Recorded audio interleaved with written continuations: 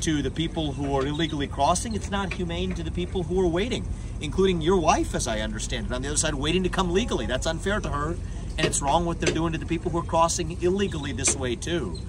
And so I'm here to to learn and really absorb what's happening here on the ground. But that was, for me, a little jarring to see a 12 year old young girl come in with her father. Now look at her just taking care of him as he's getting medical care. Left her mother behind, but coming here for a better life, and us calling this somehow a humane system that we're handling people who are drowning as they swim over. It's not right for anybody.